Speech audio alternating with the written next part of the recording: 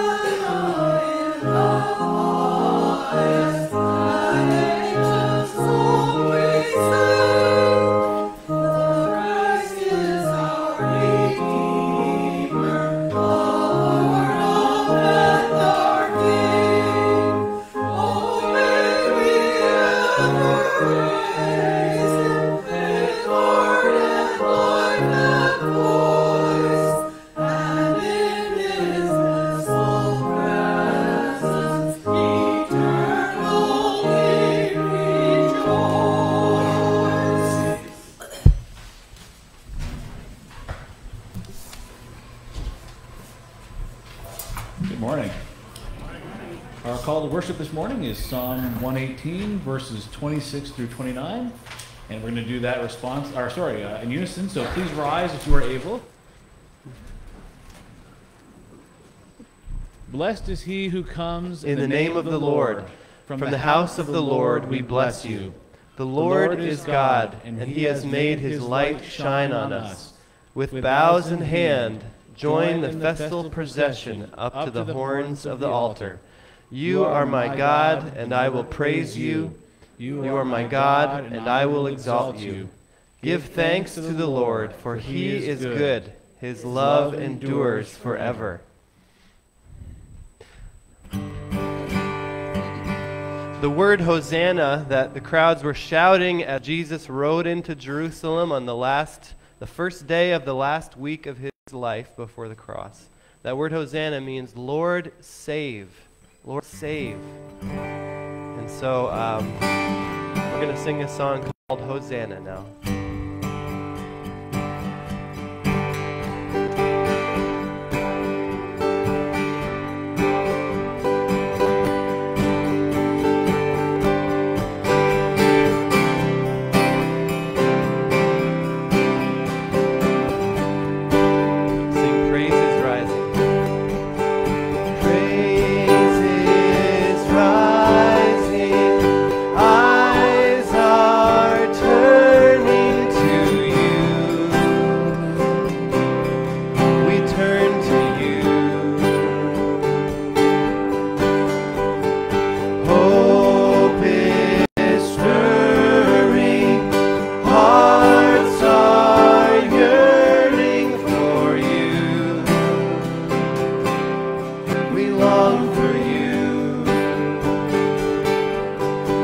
Have your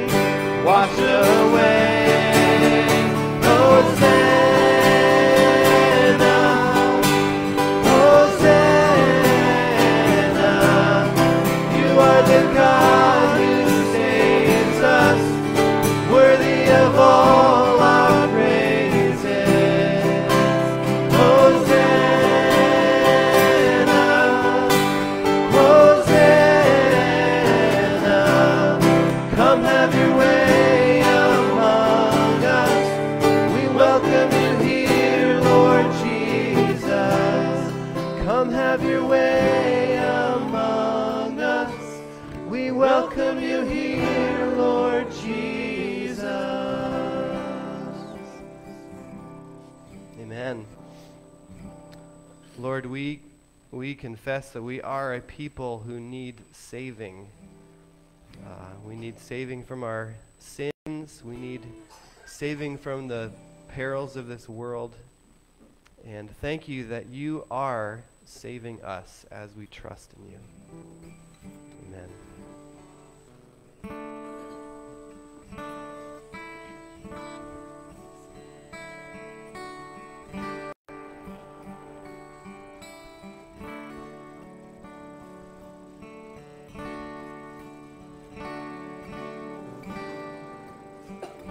This is called When I Survey the Wondrous Cross.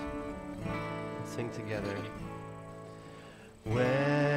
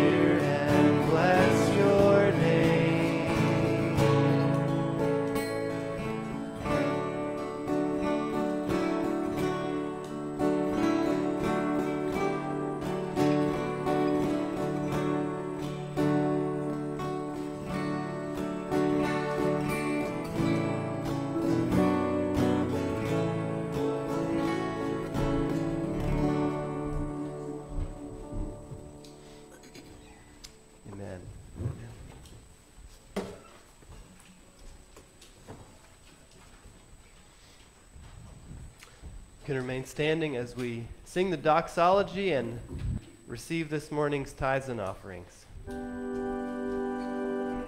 Praise God from whom all blessings flow.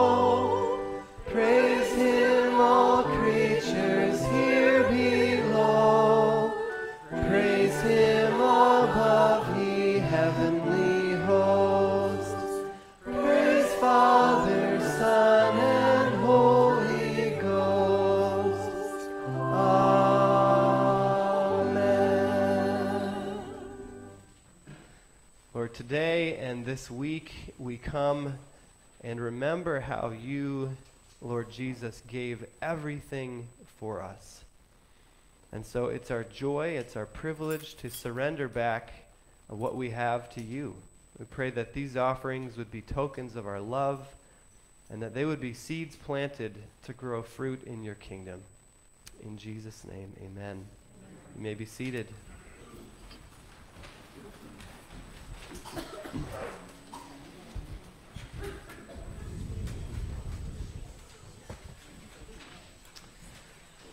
Well, we have some announcements, which we usually start with birthdays and anniversaries. Okay, on the could have Mike Tendy's uh, birthday today, Brooke Webb, is the seventh. Is Brooke here today? Brooke is here.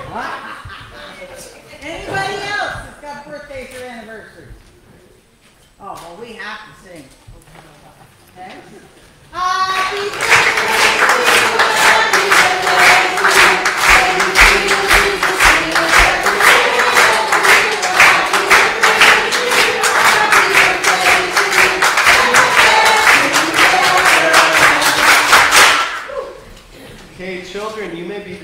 if you're from three years old to second grade for a children's activity downstairs.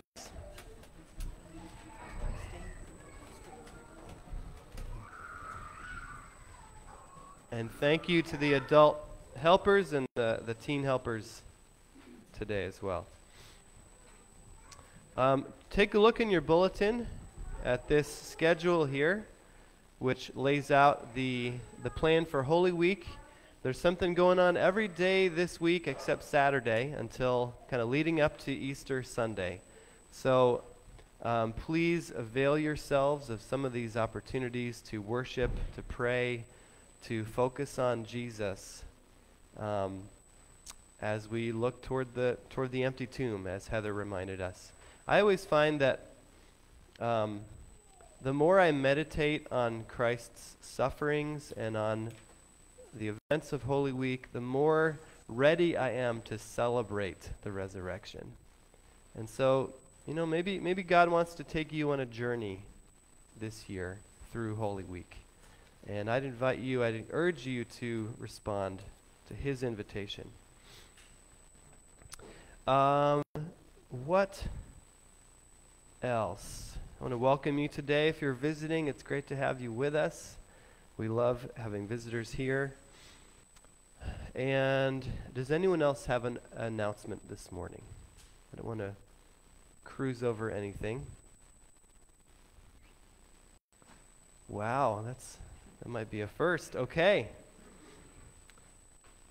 Well, then we uh, we get to do one of the most important things of our service today, which is pray.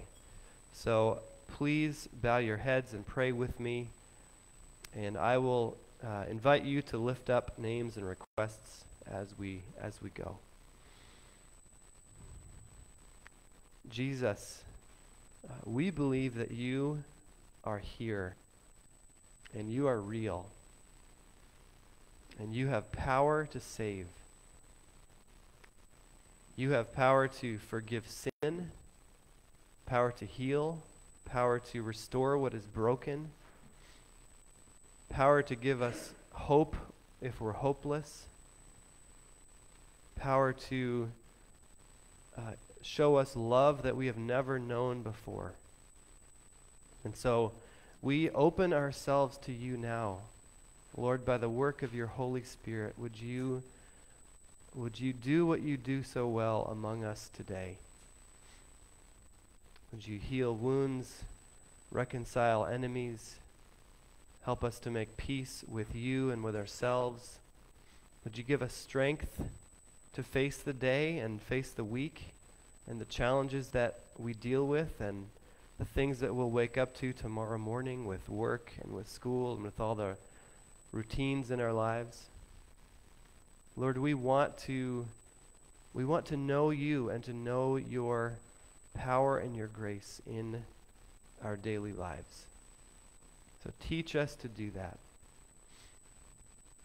And we lift up to you friends and family and others um, with, with the same basic request that you would show yourself to them, bless them, make your face shine on them, whether it's uh, physical illness they're dealing with or uh, grief or some other problem. Uh, I just invite you to lift up the name of someone that you want to bring to Jesus today. Tina. Dylan. Linda St. Peter. Linda St. Peter. Gail Carson. Sue Kramer. Savannah and Sophie. Barry's neighbor. Doreen. Lynn and Carolyn.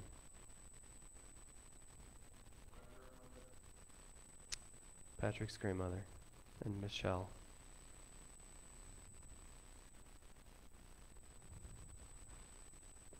Lord, you know exactly what to do with each of these people. We, we don't know how to help them, but you do. Um, actually, that's not quite true. We, you've given us gifts to bless and to serve, and so I pray that uh, we would do what we can to show your love and, and care for people around us, and you would do what we cannot to, um, uh, to restore and to heal and to save, to put back what is broken. Lord, we think of um, uh, the, the teenager Rebecca Ball, who has been missing uh, from Middlebury for a few days, and we pray that you would let her be found and restored, brought back to her family. Let her be safe. We pray, Lord, for those affected um, in the Midwest and the South by the storms that swept through on Friday, and just the many that are without a home now, or the people who've even lost um, loved ones. And um, we pray for them. We pray for your help and your care and your provision, and for your people to be on the ground supporting and helping. We pray for, Lord, our community and our churches in this area, um, especially as we um, go through this Holy Week.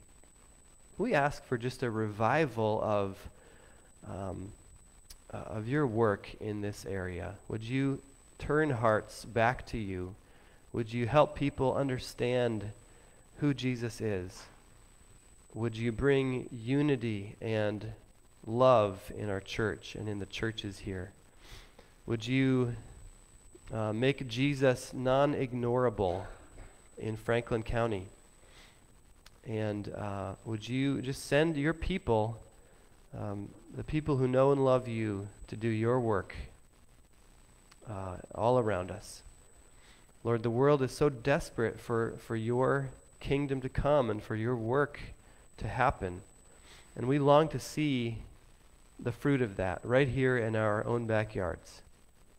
So we ask you to move. And let's pray now the words that Jesus taught his disciples. Feel free to pray if you know this. Our Father, who art in heaven, hallowed be thy name. Thy kingdom come, thy will be done, on earth as it is in heaven. Give us this day our daily bread, and forgive us our trespasses as we forgive those who trespass against us. And lead us not into temptation, but deliver us from evil. For thine is the kingdom, and the power, and the glory forever. Amen.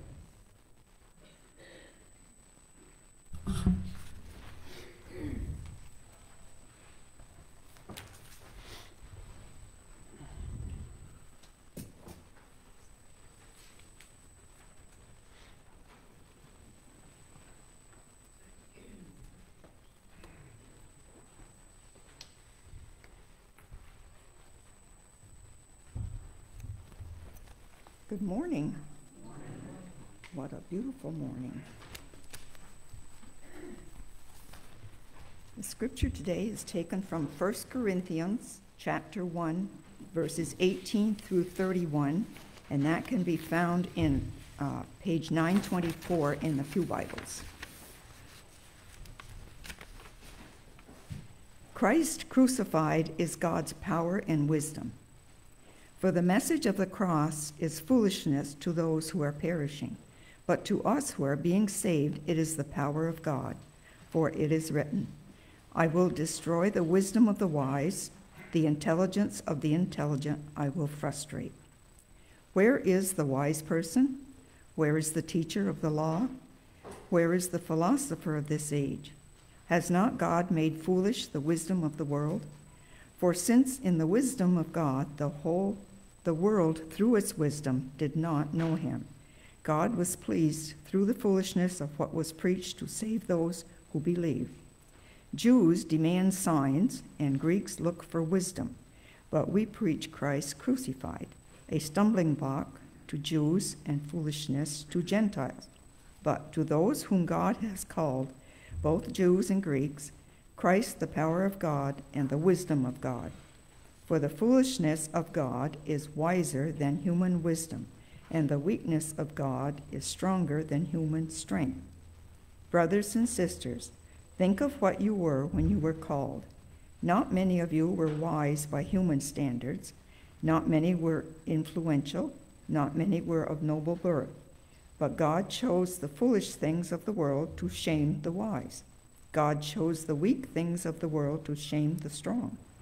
God chose the lowly things of this world and the despised things and the things that are not to nullify the things that are, so that no one may boast before him. It is because of him that you are in Christ Jesus, who has become for us wisdom from God. That is, our righteousness, holiness, and redemption. Therefore, as it is written, let the one who boasts boast in the Lord.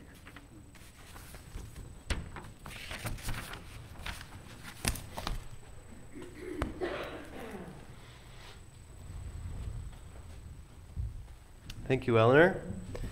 Okay, we are going to make sense of what was just read, I promise you. And if I don't, then come talk to me after the service. Do you know what an oxymoron is? It's a, a, phrase where two words are put together that seem to have opposite meanings. Here are some of my favorites minor crisis, icy hot, open secret, pretty ugly. True Lies, you know, the Arnold Schwarzenegger movie. Original copy. Definite maybe. Fresh frozen. Amtrak schedule. if you've ever ridden on Amtrak, you know why that's an oxymoron. Virtual reality. And last but not least, jumbo shrimp. Did you know that in God's wisdom, there is an oxymoron smack dab at the heart of the Christian message. That oxymoron is this Jesus is the crucified Messiah. The crucified Messiah. Because Messiah means something like, well, it means anointed one, think like the chosen one or the Savior. And crucified means someone who is executed on a cross. Those two concepts did not go together when the gospel first went out. And it's a little ironic that today the cross has become this symbol, this sort of nice religious symbol that we wear around our necks or put on a tattoo on our arms or on our truck, you know, to be you know, to help us you know, be centered, or some people use it as a good luck charm. But in Jesus' day, the cross was anything but a religious symbol. It was the ultimate symbol of humiliation, failure, and pain and death.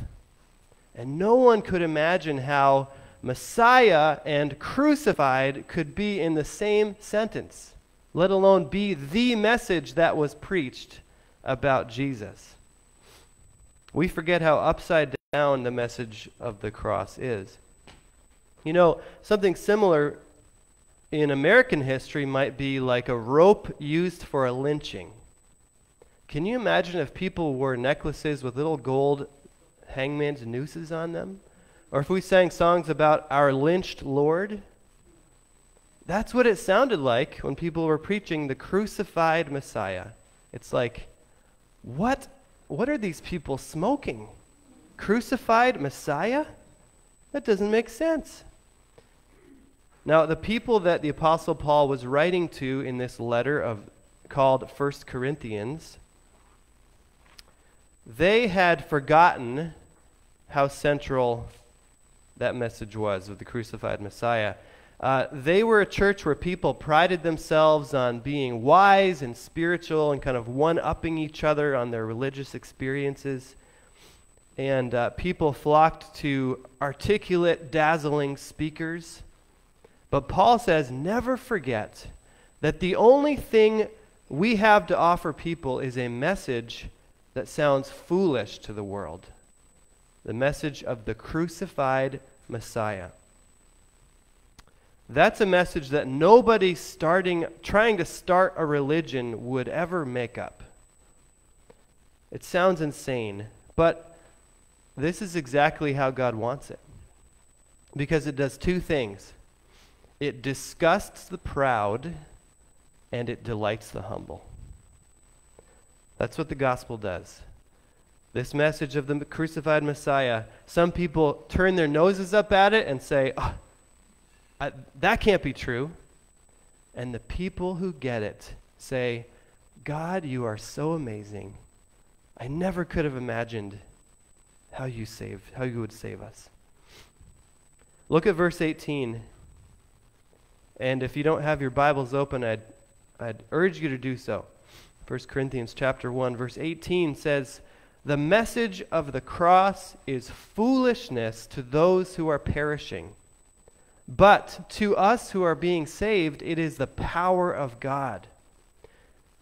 So we need to listen to what God is saying to us today through this holy scripture and ask two questions. Why does the message of the cross seem foolish to some? And how can we be people who know its power? Let's pause to pray before we launch in. Lord, we need you to be our teacher. I know that the words I've written are, um, are nothing unless you breathe your power into them. And I pray that they would only illuminate the truth that is already here, and that you would be our teacher. In Jesus' name, amen. So, number one, why does the cross seem foolish to some people? Well, it flies in the face of human wisdom. And that's exactly how God wanted it to be. Look at verse 19. Paul quotes the prophet Isaiah hundreds of years earlier, where God had said, I will destroy the wisdom of the wise, the intelligence of the intelligent I will frustrate. I like how Eugene Peterson, who paraphrased this in the Message Bible, puts it. He says, I'll turn conventional wisdom on its head. I'll expose so called experts as shams. No religious expert predicted a crucified Messiah. No philosopher reasoned his way to that conclusion. And here's why Jews in Jesus' day were living under Roman occupation, and they were waiting for their Messiah to come charging in on a white stallion and conquer the Romans and drive them out and establish the kingdom of God on earth, where, the, where Israel would once again have power and have prestige and have safety. That's what they were thinking of with Messiah power, nobility, strength. Now put that together with crucified. Crucifixion was the cruelest, most inhumane, most stomach turning death sentence possible. And the Romans perfected it to be that way. The victim would first be flogged with a lead tipped whip, opening up gashes all over their back and their body. And then his arms would be stretched out on a beam and nails driven through the wrists. The beam was put on a, an upright post where the victim's feet would be nailed to the post. And so they're, they're up there, all of their weight pulling against the most painful parts of their body. Sometimes they would take days to die in the heat, in the sun, thirsty, helpless, covered in blood. It was the most painful way people had come up with to kill someone. Now, aren't there. Um, why, why go to all that trouble to execute someone? Surely there are lots of easier ways to do it, you know? The whole point was that it was the most shaming, humiliating death possible. It sent a message. It was the ultimate symbol of defeat. And the Romans reserved the right. They were the only ones in their empire allowed to crucify. I mean, other groups couldn't do it. Only they could do it, and it was only for the worst criminals and for enemies of the state. So here's a famous example. Uh, several generations before Christ. Have you heard of Spartacus? He was a slave that led a revolt where like a 100,000 slaves rose up and tried to be free. Well, it took a long time for the Romans to crush this result, re- revolt. When they finally did, the general who defeated them took 6,000 of those defeated slaves and crucified them for 120 miles along the road in and out of Rome. Imagine driving from here to Glens Falls, New York, and every hundred feet seeing someone on a cross, covered in blood, flies circling, crows pecking, in various states of death and life. That sent the message this is what happens when you mess with the power of Rome. You are nothing. You are human garbage. That's what the cross meant. So when people were preaching, our Messiah has come and he's been crucified, there was confusion, there was, there was shock. It sounded foolish, it was an oxymoron. You know, Jesus, not only did he die, not only did he not overthrow the Romans, he was killed by them. He didn't go out in a blaze of glory. He went out in shame and humiliation. What kind of Messiah would do that? It didn't fit with what anyone expected. And that's exactly how God wanted it. The other day I was listening to a memoir by a woman named Beth Moore, who's a well known Bible teacher. And she said something that made me reach for my phone and pause and have to write this down. She said, God appears to be robustly committed to disproving human formulas. That's what the cross does. Paul goes on in verse 20 Where is the wise person? Where is the teacher of the law? Where is the philosopher of this age? Has not God made foolish the wisdom of the world? The world's wisdom, both religious and secular, says that we can figure things out. We can uh, reason our way to God, or we can do religious things to make ourselves right with God. Uh, we can use money or status or whatever to rise up and to, to achieve what we need. And the cross shows that all of that conventional wisdom is garbage. It's bankrupt. We can't do anything to figure out God and how to get to know Him and how to be saved. God says, You can't get to me with reason or with your status or with your uh, wisdom. You need radical divine intervention. You need the blood of my Son to forgive your sin. And it's almost as if God delighted, delighted in doing that in a way that no one ever expected or predicted. So no one could say, yeah, I had that figured out. I knew that's how God was going to do it. You know, this is still true today. The experts, the pundits, the best selling authors, the people that we look to for wisdom and, and great teaching in this world, those that draw the biggest crowds do not have room for a crucified Messiah in their message. Anything but.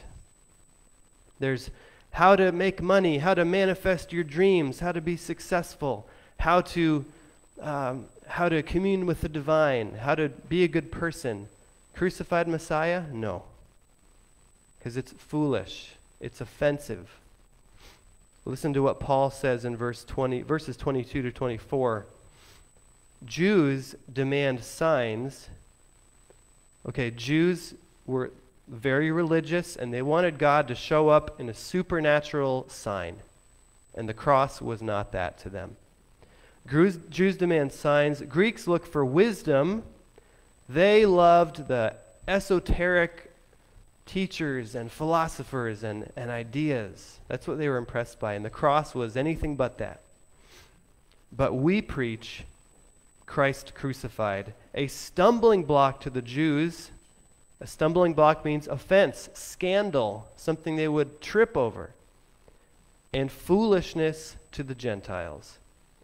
But to those whom God has called, both Jews and Greeks, Christ, the power of God and the wisdom of God. God's wisdom is so different than ours, and that is pleasing to Him, as He says in verse 21 Since in the wisdom of God the world through its wisdom did not know him, God was pleased through the foolishness of what was preached to save those who believe. So, how can we be in that second group? Those who are being saved for whom the cross is the power of God. Paul answers that question in verses 26 through 29. Brothers and sisters, think of what you were when you were called. When they became Christians, in other words. Not many of you were wise by human standards. Not many were influential. Not many were of noble birth. But God chose the foolish things of the world to shame the wise. God chose the weak things of the world to shame the strong. God chose the lowly things of this world and the despised things and the things that are not to nullify the things that are, so that no one may boast before him. That's, that's the, the point. So that he did all this, and he used a crucified Messiah, an oxymoron, a laughable thing, so that no one may boast before him. The message of the cross lowers the bar for who can get in, who can get to God, who can be saved, who can know God. And that does two things. It, it makes the, the nobodies of the world important. It gives them a place in God's kingdom. Paul reminds his readers most of them were not wealthy, important, you know, scholars. Excuse me. They heard that Jesus the Messiah was crucified to take the punishment of their sin, and that by trusting in him, they could be forgiven. They could have eternal life. Anyone can understand that. You don't have to have a college degree. You don't even have to know how to read. A child can understand the message of the cross. It is so embarrassingly simple, right? But when the bar is that low, a second thing happens. Old people can only come if they're willing to stoop down under the bar, if they're willing to humble themselves and say, Lord, I, I can't figure it out. My wisdom means nothing. My status means nothing. My knowledge, my goodness, all of those things are empty. The only way to know the power of God at the cross is to humble yourself and boast in the Lord. Look at what he says in verses 30 to 31. It is because of him, that is God, God's work, that you are in Christ Jesus, who has become for us wisdom from God. That is our righteousness, holiness, and redemption. Therefore, as it is written, let the one who boasts boast in the Lord. People who humble themselves, you know, there are those who can't humble themselves who say, well, I, I don't believe that, that God would would ever do that. Or I don't believe that I'm that bad that I needed Jesus to die for me. Or uh, that doesn't make sense to me. That doesn't fit what I was expecting. Pride keeps them out. Those, those who are willing to humble themselves and say, uh, they say, Wow, God, you're amazing. I never could have dreamed of such a plan, right? All the credit goes to you. That's what it means to boast in the Lord to come with empty hands and say, Lord, you have done an amazing work to save me. I didn't do anything to save myself. I didn't think my way there. I didn't, I didn't um, do good works my way there. I didn't, I didn't learn my way into the kingdom. Jesus saved me. They gladly repent of their sins. They gladly lay down their pride and for them, the message of the cross is power. Because Paul says it, Jesus becomes our righteousness, which means we're made right with God, our holiness, which means he changes our character, power to change us, and our redemption, which means he has taken us from death and brought us into life. All the things that human wisdom thinks it can do but can't, the cross can do. That's how we know its power. So, do you know the power of the cross? Do you know the power of Christ? Some of you um, may have been confused about the cross for years or whatever. Maybe it never quite made sense to you. For some of you, um, maybe you believe that it happened and you you know it's part of the story, but it's just one part of the Bible. And, you know, it's too bad we have to talk about this thing that's so gruesome and ugly. Why can't we just focus on the nice parts of the Bible and the good teachings about love and, and about being a good person? But the message of the cross is the center of the Bible. If you lose that, we have nothing left. That is where the power of God is shown in our lives. Do you know that power? Let me close with a story. Um, my wife, Meg, grew up in a small church in New York, and as she remem- remembers it, um, the cross never really made sense to her as, as a kid growing up. Uh, in Sunday school, they talked a lot about different Bible stories, you know, Daniel in the lion's den, Moses, uh, Noah and the ark. Maybe, maybe Jesus on the cross one time a year at Easter. Um, but it was just another story among many in the Bible. She eagerly believed what she was taught. As she grew up, she went to youth groups, she read her Bible, she tried to please God, she tried to be a good person, and God, God was at work in her. But she got through high school without really uh, w- with the cross being a riddle that she hadn't figured out. Well, somewhere during her first year of college, two things happened, began to happen. First, uh, she went on a summer mission trip with a group of college students and did some intensive Bible studies with them, looking at passages kind of like this one that talk about what happened on the cross? Why did Jesus die for us? Why did he have to die for us? What is sin? How can we be made right with God? And at the same time, life was humbling her. Because she had grown up as a big fish in a small pond in a small town in New York.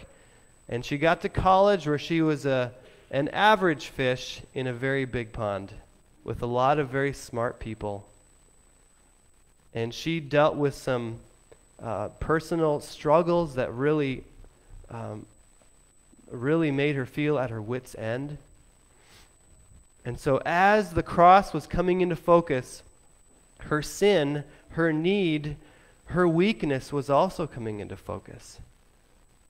And that's when she began to, as Paul says, boast in the Lord. Instead of thinking, I'm a pretty good person. Thank you, God, that I'm such a good person. She started thinking, Thank you, Jesus, that you are such a good Savior. Thank you that you died for me.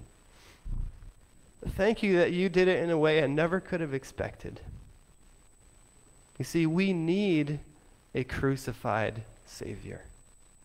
The cross shows us how desperately we need forgiveness and rescue from death, and it also shows us how unfathomable God's love is for us. Jesus, the Bible says, God was in Christ on that cross, reconciling the world to himself. That means when we see Jesus dying on the cross in humiliation and defeat, we are seeing the reality that God himself dies for his enemies. That's how much he loves us. He died to redeem us. And so, have you understood that? Do you count on your own wisdom, your own intelligence, your own smarts, your own power, your own resume, your own religious activities? Or do you say, Jesus, none of that matters.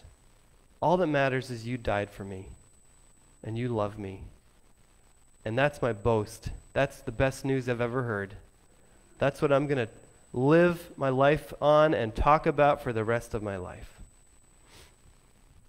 Amen.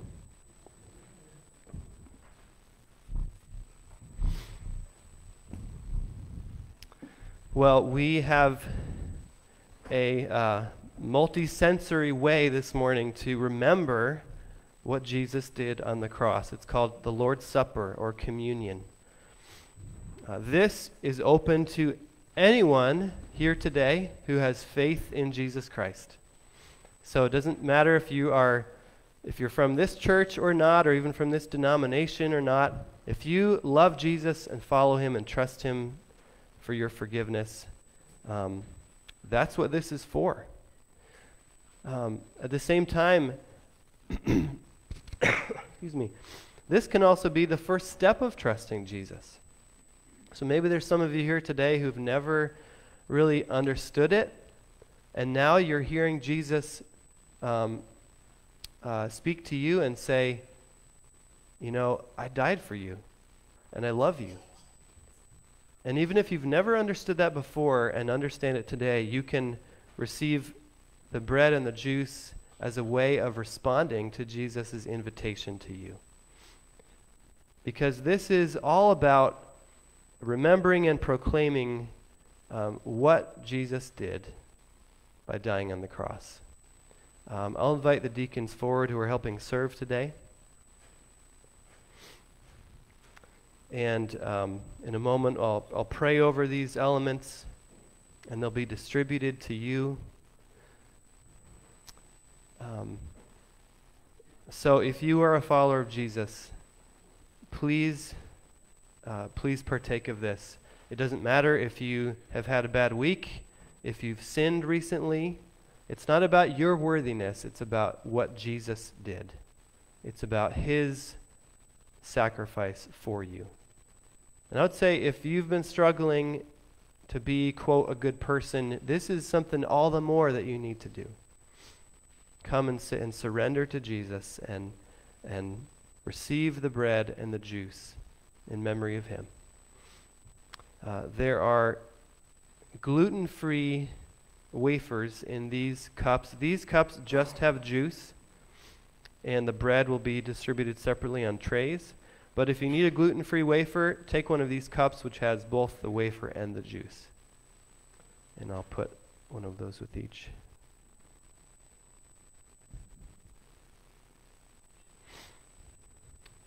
Well, let's pray.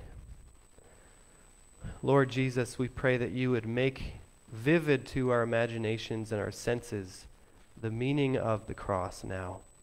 As we um, take into our bodies the symbols of your body and blood uh, broken and poured out for us, I pray that new understanding would be sparked, that faith would grow, that repentance would, uh, would flow from us, and uh, that you, through your Holy Spirit, would continue changing us into your image, giving us righteousness, holiness, and redemption.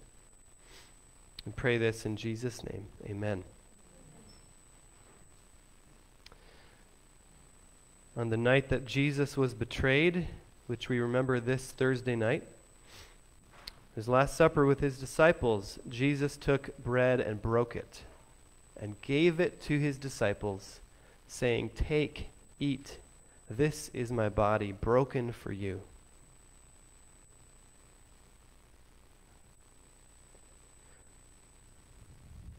So the bread will be distributed, and then we'll eat, we'll eat together once it's all been handed out, and then we'll do the same with the juice.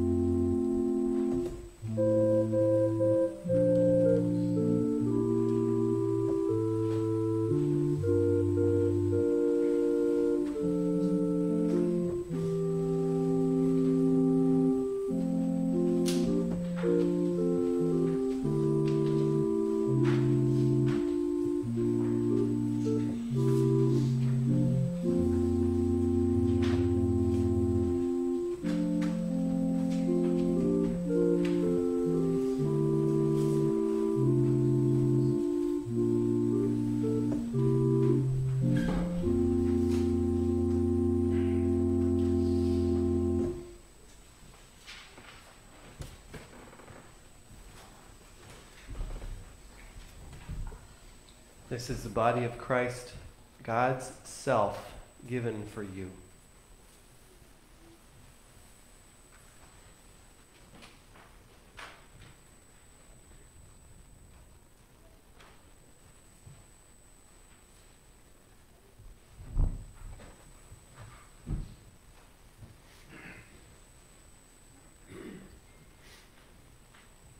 After supper, Jesus took a cup of wine and said, This cup is the new covenant in my blood, poured out for you and for many for the forgiveness of sins.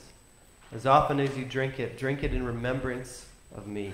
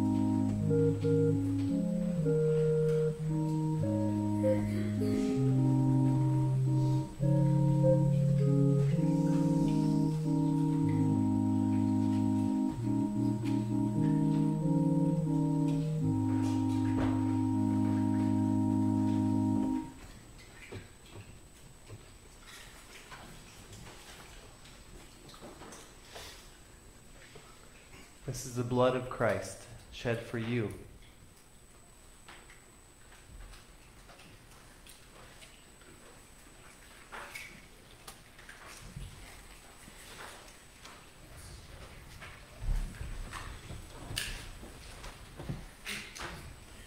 I couldn't think of a better way to um, wrap up this morning than to sing a hymn that many of you know and love well, The Old Rugged Cross. Let's sing three verses of this song uh, with thanksgiving for what God has done. Would you stand as we sing?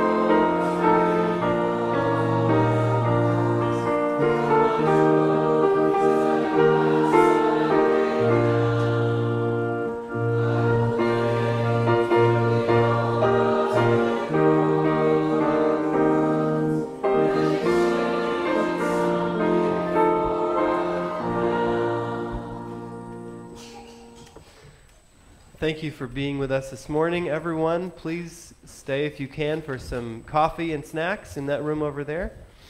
And uh, I hope to see some of you or many of you for some of the Holy Week activities we're having. Uh, but receive the benediction.